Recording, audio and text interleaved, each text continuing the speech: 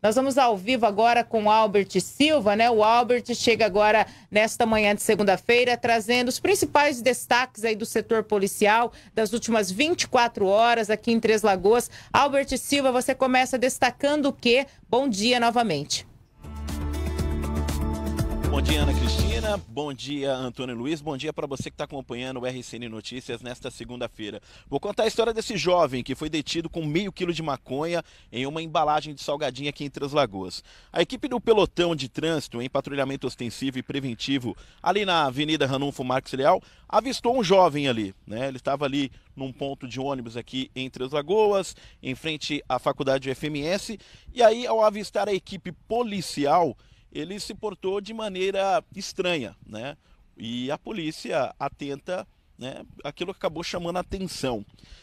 E aí, na hora da abordagem, a polícia viu que ele estava com uma sacola. E dentro dessa sacola de salgadinho, pasmem, estava um tablete de maconha com 506 gramas. 506 gramas Aí a polícia acabou abordando, perguntando para ele. Ele disse que pegou esse entorpecente no terminal rodoviário aqui de Três Lagoas e iria levar para a cidade de Andradina. A polícia acabou detendo aí esse jovem, levando aqui para a delegacia de pronto atendimento e ele fica à disposição da justiça. E olha que curioso, hein? Dentro de um salgadinho, dentro de uma embalagem de salgadinho, e o jovem não tem vergonha nenhuma. Ana Cristina. Gente, Albert Silva, chama atenção, né? A gente está vendo imagens para quem está pela TVC e pelas redes sociais. A gente viu imagens aí desse pacote, dessa embalagem, desses salgadinhos, né? De saquinho.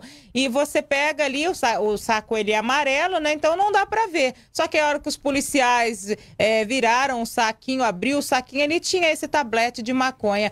Mas esses bandidos estão audaciosos. Eles usam todos os artifícios, todas as artimanhas para tentar driblar aí a polícia, mas é claro, né, Albert? A polícia é muito mais esperta, está atenta a tudo e acabou descobrindo aí que não se tratava de salgadinho coisa nenhuma, mas sim de maconha, né?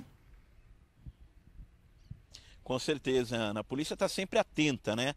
A polícia está sempre atenta a qualquer detalhe. Então, quem não deve não teme. Esse jovem acabou se comportando de maneira estranha, de maneira inusitada, chamou a atenção da polícia, a polícia acabou abordando e aí se deparou aí com 500 gramas de maconha. Ele veio parar aqui, ó, na delegacia de pronto atendimento, está à disposição da justiça.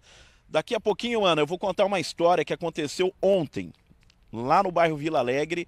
Olha, vou te contar uma coisa, deu um bafafá danado lá na Vila Alegre, entre sogro, genro, nora. Eu conto daqui a pouquinho em detalhes toda essa história que veio parar também aqui no setor policial.